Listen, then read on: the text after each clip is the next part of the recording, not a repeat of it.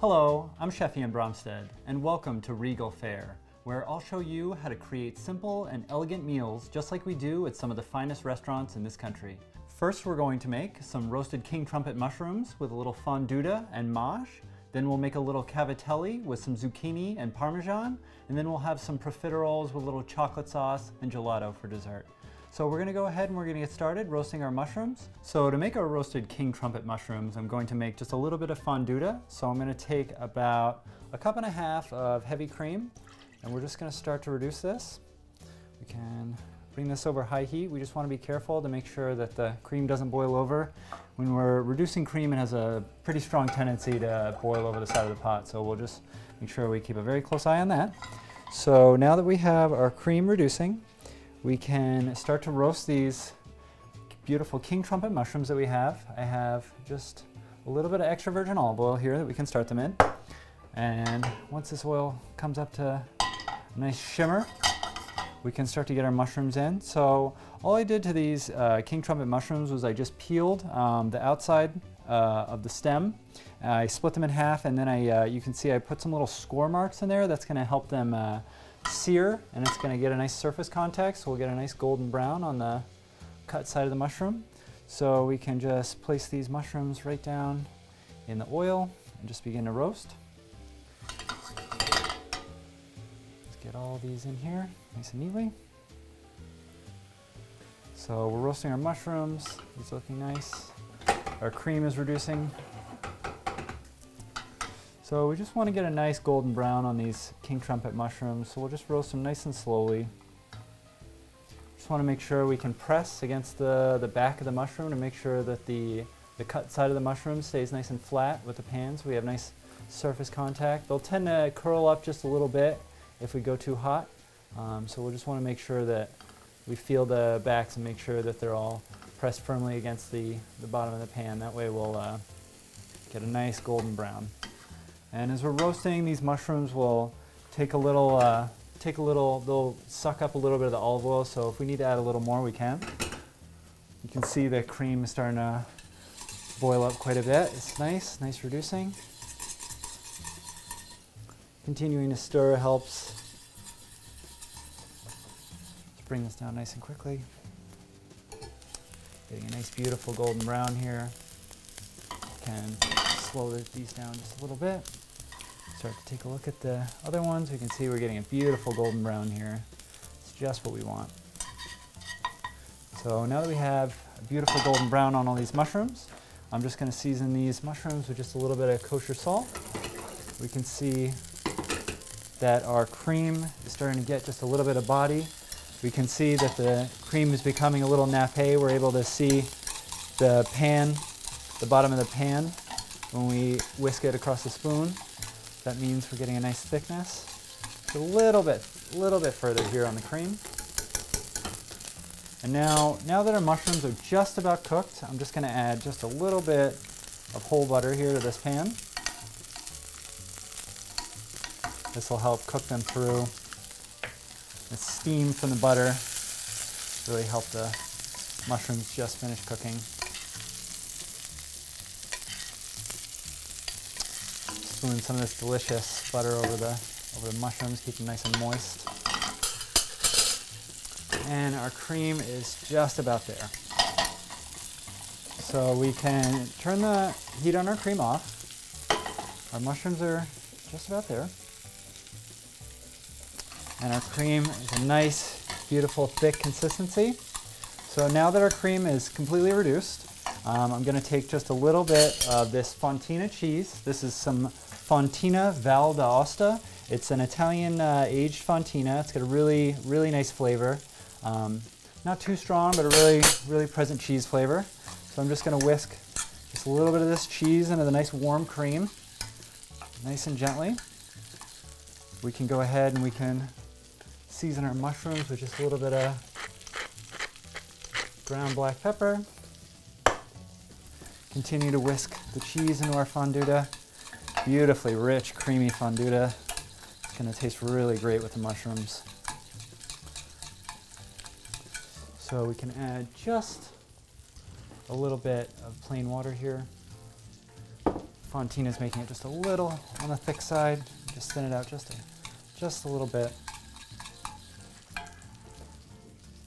Just another kiss of water. So now that our fonduta is basically completed, I'm going to take just a little bit of white truffle oil and I'm going to drizzle this into the fonduta. Immediately the uh, heat is making the uh, white truffle oil really give an amazing, amazing aroma. I really love the flavor of the white truffle oil on this, the cheesy, the, the earthiness of the mushrooms. So now that we have our mushrooms roasted and our fonduta completed, we can go ahead and we can start to plate. So I'm just going to take a nice, nice generous amount of this fonduta, this beautifully creamy fonduta. And I'm going to just put a little on this plate here. So now that we have our fonduta on, I'm just going to take our roasted mushrooms. I'm just going to lay them on top of the fonduta. Big, beautifully roasted mushrooms. I really like the king trumpets. Um, there's a lot of other mushrooms we can use for this. I really love like chanterelles are really great, or a, a mix of mushrooms is even great too. I love chanterelles and black trumpets, and uh, hen of the woods are also really excellent really, really nice mushrooms. And a lot of these are becoming much more available these days as the demand is increasing. So I have a few hazelnuts here. Um, I just toasted the hazelnuts and cut them in half. Um, I really like the textural crunch that the uh, hazelnuts bring to this dish, and you know they're very, very rich, and they go very well with the with all these flavors here. So now that we have our mushrooms and fonduta complete, I'm just going to take a few pieces of this of uh, these little bunches of mâche, and I'm just gonna lay these around.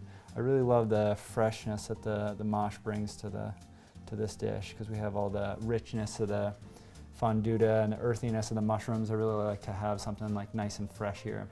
So here we have our roasted king trumpet mushrooms with fonduta and mâche. We're gonna get this cleaned up and we'll be right back to make our profiteroles. Welcome back. So we're gonna go ahead and we're gonna make our profiteroles now. So I'm just gonna take a half a cup of milk, and I'm just gonna bring it up to a scald. We just want the milk to be nice and warm. I'm gonna add a quarter of a cup of whole butter here. So we can just melt these two together. We just wanna stir as we as we go. We just wanna make sure that the milk doesn't scorch on the bottom. We wanna make sure that the butter doesn't get too hot. So we just wanna melt these two together nice and gently. So basically what we're going to do here is we're going to take all this milk and butter and we're going to add quite a bit of flour. And what's going to happen is we're going to get a nice uh, Play-Doh-like dough forming in the pan. And we're going to cook that for just a little while, just to cook a little bit of the excess moisture out. And then we're going to fold in a couple eggs. And then we're going to transfer it right to our pastry bag here. And then we can pipe them all out onto this sheet tray here. And once we have them all piped onto a sheet tray, we're going to bake them in a pretty hot oven, around 400 degrees. The idea is that the moisture that exists in this dough is going to create uh, a sort of an explosion of steam inside of the profiterole. And what will happen is the uh, profiterole will puff up, uh, very similar to like a cream puff. And the puffing action is what happens when they go into the oven because this nice moist batter just kind of explodes inside the oven and creates this nice light profiterole. So now that our milk and butter are thoroughly melted, nice and warm, we can go ahead and we can add our flour. So now that we have all of our flour in, we can just mix these two nice and carefully. So now that they've come together nicely, we can put this back on the heat and we're going to cook this for just a little while. Um, we want to cook this on the heat for about a minute. It gives the flour a chance to cook and it helps some of the moisture come out of this. Uh, we want a really nice delicate balance. We want it to be nice and stiff, but we don't want it to be too dry and we don't want it to be too wet. So if they're a little wet, they'll be, they won't puff up very nicely. So a nice stiff, nice stiff flour mix of flour, butter, and egg, or flour, butter, and milk. So now that our pastry dough is cooked just a little bit here, I'm gonna pull this off the heat. Continue to stir it, let a little bit of the heat dissipate, but we wanna have this batter stay pretty warm throughout the whole process. It'll make piping it out a lot easier. Uh, so now that we have our flour, milk, and butter cooked, I'm just gonna go ahead and I'm gonna add one egg. And I'm just gonna mix this in. Uh, I like to add the eggs one at a time. It's just, it's just a little easier. Um, ten, has a tendency to be a little difficult when you try and add a large volume of eggs to this batter.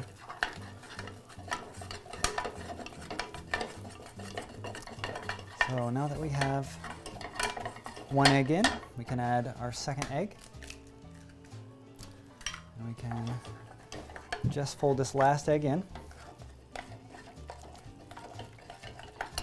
So now that our pastry dough is almost complete here, is a very classic uh, French pastry called choux pastry, pâte à choux.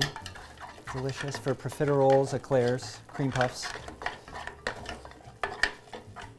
So now that we have our finished pâte à choux, choux pastry, we can transfer this to this pastry bag.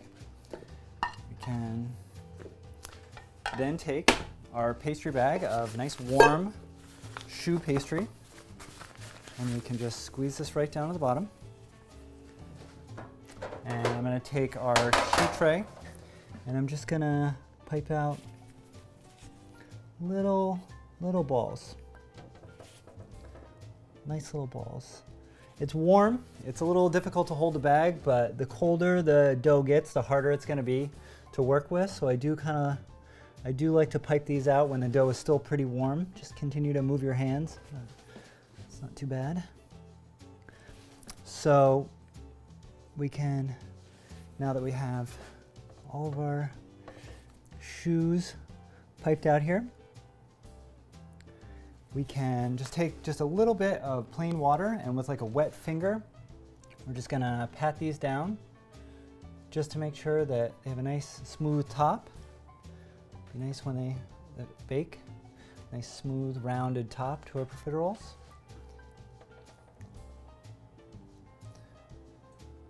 So now that we have all of our profiteroles piped onto our sheet tray, I'm just going to pop these into a 400 degree oven for about 20 or 25 minutes, just until they're golden brown. We're going to get this cleaned up and we'll be right back to make our cavatelli. Welcome back. So we're going to go ahead and we're going to get started making our cavatelli now. So I'm going to take about a cup of double zero flour and I'm going to take about a cup of semolina flour. I really like to use both flours because it really makes for a nice texture to the dough. Um, you can substitute all-purpose flour for both of these, that's totally fine. So we're going to make just a little well in the center of the flours and I'm going to add, uh, I think I'm going to add about a quarter of a cup of water, uh, but we can add it in, in stages so that we make sure that we have the right consistency. So I'm just going to start to bring the flour into this water until we have a nice, nice workable dough. We can already see a lot of these pieces of dough starting to form. Nice clumps, clumps of dough. You can add a little bit more water. I like to use warm water, kind of helps with the making of the dough. I think we're to need just a little bit more plain water. The idea here is we just want to make a nice, nice stiff dough. We don't want it to be too loose, um, but we don't want it to be too hard that we can't work with it. So We'll just continue to mix the pasta a little bit, a little bit more here, a little bit more water.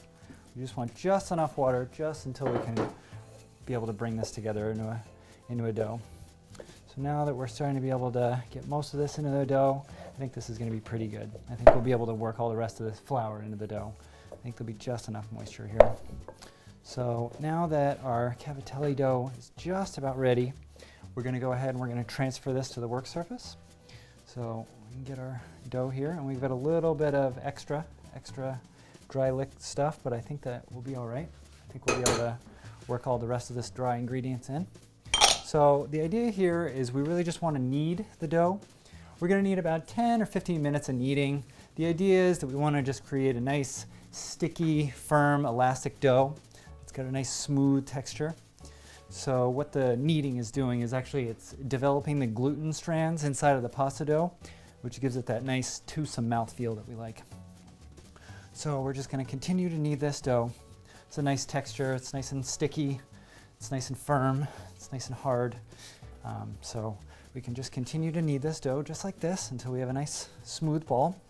So now that we have a nice sticky dough, I'm going to continue to knead this for about another five, another five or so minutes, just until it has a real nice sticky elastic feel. Um, we can see that it's starting to break up a little bit. Um, so I'm just going to go ahead, and I'm to knead this for another five or 10 minutes, just until it's a nice firm, sticky, elastic dough. Then we're going to let it rest for another 10, 15 minutes, and we'll come right back and we'll finish our cavatelli. So we let our pasta rest for about 10 or 15 minutes. We have a nice smooth and elastic dough.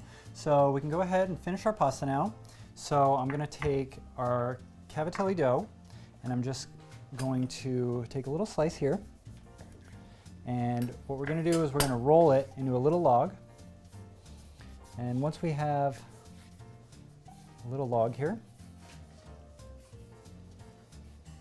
we have a nice little pasta log. So now that we have a nice little log, we can just slice this into some little diagonal shaped pieces. And now that we have a few of these little pieces made, we can take our little cavatelli board, this is just a little ridged piece of wood here, and we can just roll the little pieces of cavatelli dough along the, along the board. And what's gonna happen is we're gonna get these beautiful little ridges in the backs of the pasta. It's gonna be a nice place for all the sauce to sit. So here's how we finish our pasta. I've gone ahead and made up a few more just to save a little time. So to make our pasta sauce, we can take a little bit of extra virgin olive oil and we can saute some of these beautiful green zucchinis. So we just want to get just a little bit of color on the zucchinis. The idea is we just get a little bit of caramelization. It's going to give a really, really delicious caramelized flavor, enhance some of the sweetness that's naturally in the zucchini. So we're just going to get all these zucchinis just laid nice and evenly. We want a nice, a nice even layer of zucchinis along the bottom of the pan. We don't want to crowd the pan too much because that'll prohibit that beautiful caramelization that we like so much. So now that we have all of our zucchinis in, we're just to let these cook. We just want to let these get nice little golden brown. Really shouldn't take too long. About, about a minute, about a minute on each side. Turn this up a little bit. So this won't take too long. We don't really want to cook the uh, we don't really want to cook the zucchinis too much. We don't want to get them to get mushy. So just a little bit longer here. So now that we have all of our cavatellis ready, we just continue to cook our zucchinis. Just want to get a little golden brown. Don't want to go too much just, just a little bit of caramelization. It's a little longer here. You can see the, they're starting to absorb the oil. That means they're, they're getting cooked quite nicely. A little bit longer. We just want to get just a little bit of golden brown here. Just let these fry for just another 20-30 seconds. Just get a nice little caramelization. Now we're starting to get beautiful little golden brown. You start to turn all these. And get in here. We can just get all these zucchinis flipped over so that we have a nice layer of the beautiful caramelized zucchinis here. Once we get all these zucchinis in here, we're just going to take just a little bit of this red onion. We're just going to put a nice even layer of the red onion right on top, just so the onion gets gently cooked. So now that all our zucchini's over, we can add a nice layer of these beautifully julienne red onions, just a little bit. And we can take some of these chopped San Marzano tomatoes. All I did with these is I just, um, I blanched them and then I peeled the skins away and then I crushed them with my hands and then just ran a knife through them just so they're not, not too, too big. So now that this is all cooking in here nicely, we can go ahead and we can drop our cavatellis so we're going to take all these cavatelli and drop them right in here.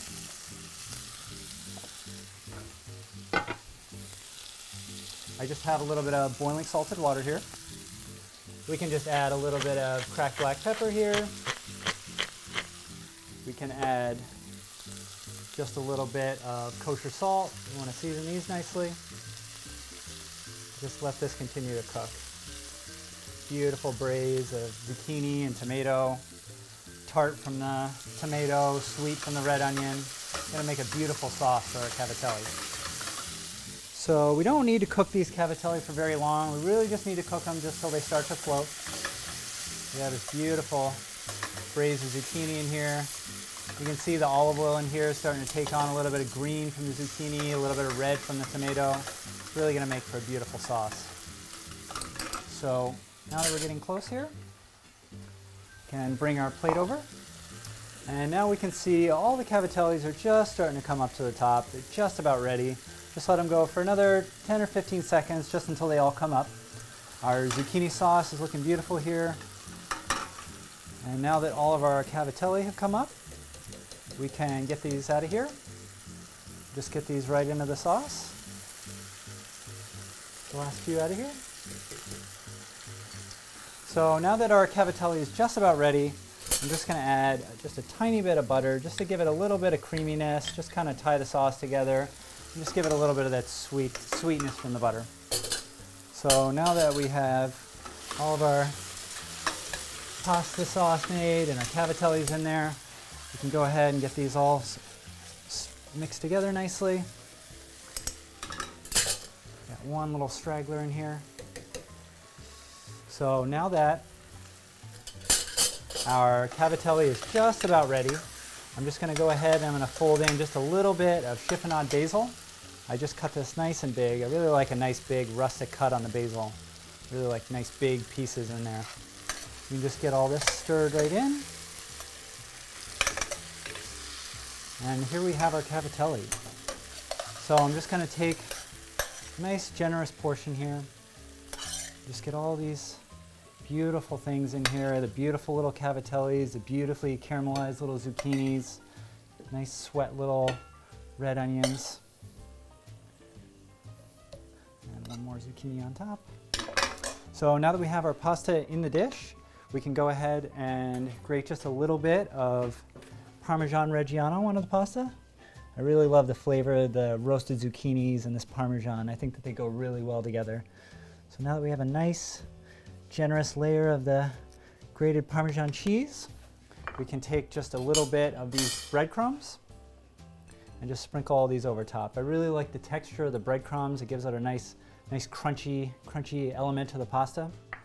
So here we have our zucchini with cavatelli and Parmesan. We're gonna get this cleaned up and we'll be right back to finish our profiteroles. So we're back. I'm just gonna finish up our profiteroles here. So I just took them out of the oven and I just let them cool slightly. So I just want to split these all right in half. Just with a little serrated knife, makes it go nice and easily. So now that we have all of our profiteroles split in half, I'm just going to take a little bit of this vanilla gelato and I'm just going to put a little little dollop right in each each one. Nice little dollop of the ice cream in each one. Nice. I really like the flavor of the vanilla gelato. It really has a delicious creaminess that's going to go really well with these creamy little profiteroles. So just one more little profiterole. Just one more. And now that we have all of our profiteroles filled, we can just put these right here on this plate.